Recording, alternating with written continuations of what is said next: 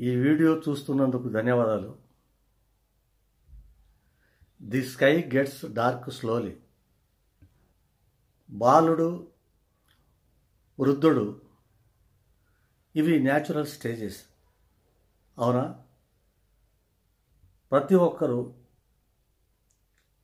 వృద్ధాప్యం చెవి చూస్తారు దాదాపుగా. అదిగో బిజీ బిజీగా ఉన్నటువంటి హడావుడిగా ఉన్నటువంటి అందరూ. ఎవరైనా సరే మనమంతా వృద్ధాప్యంలోకి అడుగుపెట్టక తప్పదు.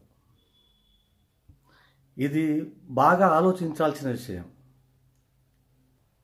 వృద్ధాప్యం గురించి జో డాక్సిన్ అనే చైనీస్ రచయిత వృద్ధుల గురించి చిత్రీకరించిన విశదీకరించిన విశేషమైన నవల. సరే మీరు ఏ ఏజ్లో ఉన్నా మీకు అందుబాటులో ఉన్న పెద్దలకి ఈ విషయాన్ని చేరవేయండి. అర్థమయ్యేలాగా మీ మాటల్లో చెప్పండి. అది ఎంతో కొంత మేలు కలిగేలా దోహదపడుతుంది. ఇందులో అనిమ అనివార్యమైనవి సున్నితమైనవి.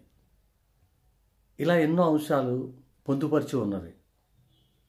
వాటిని అర్థం చేసుకోలేక మనోవ్యధతో గురయ్యే ఎందరో వృద్ధుల గురించి వృద్ధులకు సహకారం అవుతుందనే ఆలోచనతో చక్కగా సాగుతున్న నవల ఇది. అపరాబద్ధ భావంతోటో అహంభావంతోటో మితిమీరిన ఆత్మస్థైర్యంతోటో లేక అంతుపట్టని ఆత్మన్యూన్యతా భావంతోటో సతమతమయ్యే ఎందరో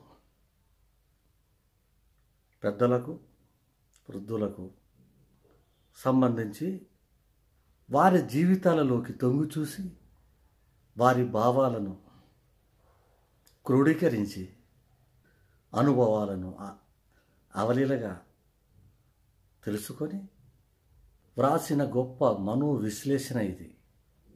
అయితే కొన్ని మాత్రమే ఇందులో పొందుపరచటం అవుతున్నది. ముఖ్యమైనవి.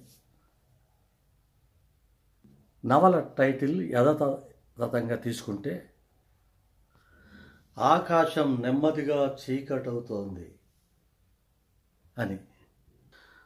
పగలంతా జ్వాజ్వలమాలంగా వెలిగిన సూర్యుడు సాయంత్రానికల్లా సాయంత్రానికల్లా అస్తమిస్తాడు. పొద్దువాలి చీకటి ముసురి చుక్కలు మొలిసి వినూత్నంగా దర్శనమిచ్చిన ప్రకృతి. నెమ్మదిగా చీకటవుతుంది. అరవై ఏళ్ళు దాటిన వారికి కూడా అదే జరుగుతుంది. అంతకుముందు విస్తృతంగా విశేషంగా ఉన్న మన పరిచయాలు భవబంధాలు నెమ్మది నెమ్మదిగా తగ్గనారంభిస్తాయి. వెలుతురులో ఎంత బాగా పని చేసుకుంటున్నామో చేసుకున్నామో అంత బాగా చీకటిలో కూడా చేసుకుంటానికి సిద్ధమవ్వాలి. యవ్వనాన్ని ఎంత బాగా గడిపామో అదే పద్ధతిలో వృద్ధాప్యాన్ని కూడా చవి చూడాలి. వార్ధక్యాన్ని కూడా ధైర్యంగా గడపాలి. చాలామంది తమకు అన్నీ తెలుసని తమ జీవిత విధానం గొప్పని డిఫరెంట్ అని గొప్పదని అనుకుంటూ ఉంటారు. కానీ ముసలితనంతో ముసలితనంలో వచ్చే శారీరక మానసిక ఆ సంబంధించిన సమస్యలను ఎదుర్కోవడంలో వారి పరిజ్ఞానం చిన్నపిల్లలతో సమానం. వచ్చే విషయంలో ఉండే సన్నద్ధతలో వారికి ఉన్న పరిజ్ఞానం విషయంలో వాటిని పరిష్కరించటంలోనూ విఫలమవుతూ ఉంటారు. దానివల్ల కేవలం దానివల్ల అని కూడా ఒక్కో సందర్భంలో చెప్పవచ్చు. తీవ్రమైన ఒత్తిడికి గురై గురై అనారోగ్య భారంతో బాధపడుతుంటారు. అయితే ఇటువంటి పరిస్థితుల నుంచి తప్పించుకోవాలంటే వారు విషయ పరిజ్ఞానాన్ని ముందే సముపార్జించి ఆ సమస్యల నుండి సేఫ్ సైడ్లో ఉండటానికి కొన్ని సూత్రాలను పాటించాలి.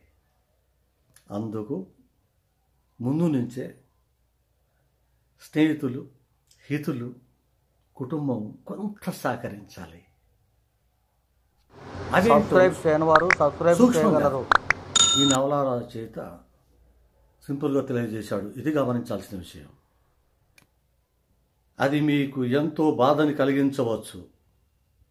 మీ కుటుంబ సభ్యులు బంధువులు మిత్రులు ఎవరైనా కావచ్చు వారు లేని లోటు మీకు భరించలేనిదిగా అనిపించవచ్చు. ఇంతకంటే బాధాకరమైన విషయం ఏంటంటే మీ జీవిత భాగస్వామి మీకు దూరము కావచ్చు. అయినా మీరు దుఃఖంతో కుంగిపోకూడదు. ఒంటరిగా వచ్చిన మీరు ఈ భూమి మీద. కొన్నాళ్ళు ఒంటరిగా ఉండటానికి కూడా సిద్ధపడతారని మనసుకు మీరు మనసుతో మీరు మీ మనసుతో మీరు దృఢ సంకల్పంతో ప్రిపేర్ అయి ఉండాలి. ఒక్కరూ ధైర్యంగా బతకటానికి సిద్ధం కావాలి. ఒంటరిగా బతకటానికి అలవాటు పడాలి. ఏకాంతతను అలవాటు చేసుకోవాలి. అయితే ఆ ఏకాంతం ఆత్మావలోకానికి సహాయపడాలి. ఎంత మంచి ఉద్యోగం చేసి ఉన్నా ఎన్ని అలంకరభరితమైనటువంటి ఉద్యోగాలు చేసి ఉన్నా పదవులను సునాయాసంగా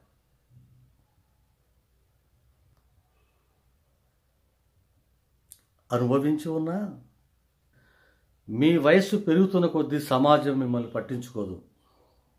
దిస్ ఈజ్ పాయింట్ పెరుగుతున్న వయస్సు దృష్ట్యా మీకు ముసలివాడు అనే ముద్ర పడుతుంది.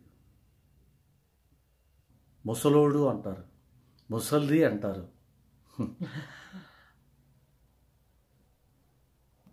దానికి సిద్ధపడాలి. సున్నితంగా తీసుకోవాలి దీన్ని కూడా. దానికి బాధపడకూడదు.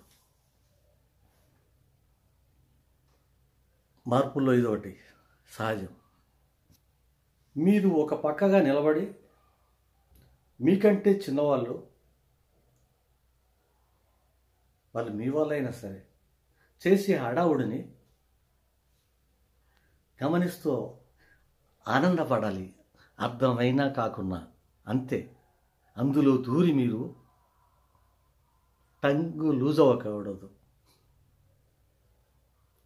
వాళ్ళ ఈసాడింపులకు గురి కాకూడదు. అలా మౌనంగా ఉన్నప్పుడే మీకు లభించవలసిన గౌరవం లభిస్తుందనే భావన ఉంది. కాబట్టి ఆత్మ న్యూన్యతాభావంతో అందరి వద్ద మీ బాధను వ్యక్తం చేయకండి. వయస్సు పెరిగే కొద్దీ మీకు అనారోగ్య సమస్యలు పెరిగే అవకాశం కూడా ఉంటుంది. అది లాభం అవకాశం అంటే లాభానికి అనుకోకూడదు. సహజమైన విషయాలు ఇవి.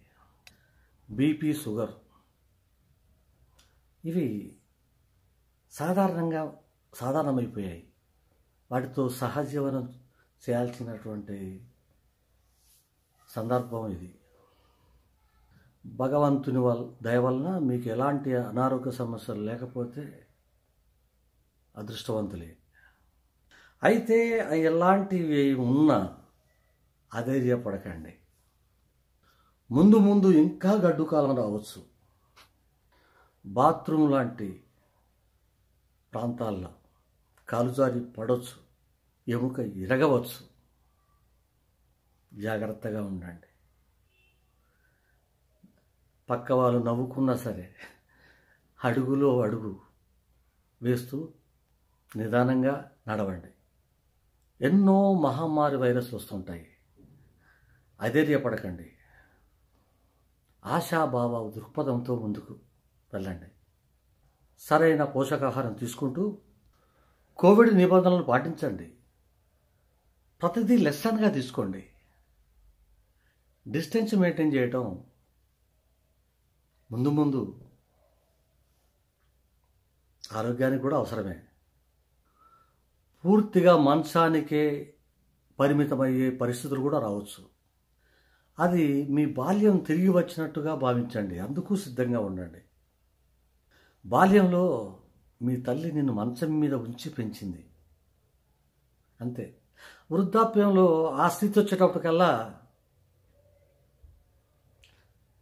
కొన్ని బాధలు కలుగుతాయి. ఎందుకంటే నిన్ను బాలుడుగా లేదా బాలికలాగా నీ వాళ్ళు నువ్వు నమ్ముకున్న వాళ్ళు భావిస్తారని అనుకోకూడదు. ఎందుకంటే మనిషి సహజంగా ముందు చూపుతో వెళ్తాడు. వెనక్కి వారు చూడరు. చూడగలిగితే ఇది కూడా అర్థం చేసుకుంటారు. ముందు చూపు అంటే తన తన బ్యాంకులో బ్యాలెన్స్ తన భార్య తన పిల్లలు తన ప్రాపర్టీ. అందులో తన తల్లిదండ్రులు ఉండరు. తను కూడా అలాగే అనుకొని ఉంటాడు. అందులో వాళ్ళ అమ్మ నాన్న ఉండి ఉండరు. ఇది సహజం. బాధపడకండి. అప్పటికి దేవుడి దేవలన చెవులు మందగిస్తాయి చూపు మందగిస్తుంది. వాళ్ళు అనే మాటలు సరిగా అర్థం కాదు. అన్నిటికీ తలుపుతూ ఉండండి. చిరునవ్వుని వదలకండి. సీరియస్గా ఉండకండి. మీ బాల్యంలో మీ అమ్మ మంచాన నిన్ను ఎలా పెంచిందో అలాగే ముదిమి వయసులో నీకు మీ సంతానం ఉంటే లేదా అలాంటి సహకారం ఉంటే సహాయం జరగవచ్చు. కాలంలో ఇది ఒక భాగం. అర్థం చేసుకోండి. దేనికైనా సిద్ధంగా ఉండండి. ఈ వేగవంతమైనటువంటి ప్రవాహవంతమైనటువంటి ప్రభావవంతమైనటువంటి కాల పరిణామాలతో మనం ఎన్నో చూసాం మనమే మన పిల్లలకి మన వాళ్ళకి వేగాన్ని అలవాటు చేశాం జీవితంలో. ఆ వేగంలో బాగుగా చివరగా మనకి మంచం ప్రాప్తమైనప్పుడు అందుబాటు లేకున్నా సరే మరో ఆసరా దేవుడు అందిస్తాడు. ధైర్యంగా ఉండండి. మీకు అయిష్టంగానే సహాయం జరగవచ్చు. ఎందుకంటే చిన్నప్పుడు పిల్లలకి వాళ్ళ అమ్మ మీరు మీ పిల్లలకి ఆ రోజుల్లో కూడా ముద్దుగా విసర్జన తొలగించినట్టు మీకు జరగకపోవచ్చు. ఎందుకు జరుగుతుంది? జరగదు కదా. కాల ప్రభావం అని మనసులో ఓ మందహాసం పెట్టుకోండి. ప్రశాంతత ఉంటుంది. చిరునవ్వుతో ఉండండి. మీ సహాయం చేసే వాళ్ళకి కృతజ్ఞతలు తెలపండి. వాళ్ళు మళ్ళీ మళ్ళీ మీకు సహాయం చేస్తానికి ముందడుగు వేసేలా మాటను తీయగా మాట్లాడండి. మీ సంపాదన పట్ల మీరు దాచుకున్న సొమ్ము పట్ల జాగ్రత్తగా ఉండండి. కష్టపడి సంపాదించుకున్న పెద్దాన్ని ఎగరేసుకుపోతానికి ఎన్నో పక్షులు వస్తుంటాయి. మీరు సర్వీసులో ఉన్నప్పుడు దానికి ఎవరు లెక్క లెక్క చేయం? మీ కోటి రూపాయల ఆదాయం రావచ్చు లెక్క చేయం. కానీ వాళ్ళ లక్ష కూడా మీ కోట్లలాగే ఎందుకంటే అది మీ ఖర్చు కోసం ఉపయోగించుకోండి. మీ వాళ్ళ అకౌంట్లో ఎన్ని కోట్లు ఉన్నా వాళ్ళు ఏదో అదే ఏదో కట్టుకుంటూ ఉంటారు అది ఇది వరుక్కుంటూ ఉంటారు ఖర్చు అవుతూ ఉంటుంది.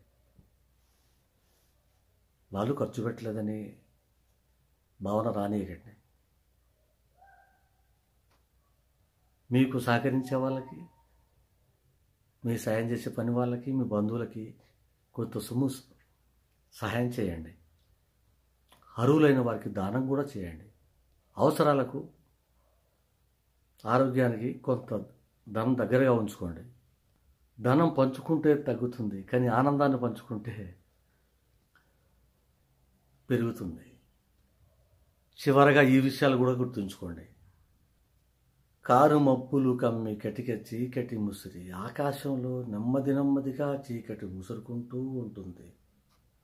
చీకటి తెరలు ముసురుకొని రాత్రి సమయం వచ్చినట్లే వృద్ధాప్యంలో చీకటి తెరలు ప్రవేశిస్తాయి. రాబోయే కటిక చీకటికి మనల్ని సిద్ధం చేస్తుంది. ఇది అనివార్యం. ఒక సింహంలాగా మీ జీవితాన్ని సింహావలోకం చేసుకోండి. ఒక గరుడ పక్షిలాగా మీ జీవితాన్ని విహంగా వీక్షణ చేసుకోండి. ఒక సనాతన సాంప్రదాయబద్ధంగా మిమ్మల్ని మీరు ఆత్మావలోకం చేసుకోండి. మీ ఈ నేటి పరిస్థితి ఎవరిని నిందించకండి. ఇలా జరగాల్సి ఉంది జరుగుతుంది. ఇప్పటికీ కూడా మీ వలన జరగాల్సిన పనులు ఏమైనా ఉంటే వాటిని సత్వరంగా పూర్తి చేసేయండి. ఎదుటి వాళ్ళని చులకరంగా చూడకండి. తక్కువ చేసి మాట్లాడకండి. ముఖ్యంగా ఇప్పటి నుండి మా అనుబంధాలను క్రమక్రమంగా తగ్గించుకోండి. మీ ప్రయాణం అనివార్యం. ఇది లోక సహజం ప్రకృతి సహజం. కాలం అనే అనంత పోకడలు అనంత ప్రయాణంలో ప్రవాహంలో కొట్టుకుపోవాల్సిందే. కలిసిపోవాల్సిందే. ఈ చివరి జీవన ప్రయాణానికి ప్రయాణంలో ప్రవాహంలో ఎదురు ఈత ఈదాలనే ఆలోచన పెట్టుకోకండి. ఈ ప్రవాహానికి ఎదురు ఈత ఎదురు ఈదటం అనేది ఆలోచన పొరపాటు.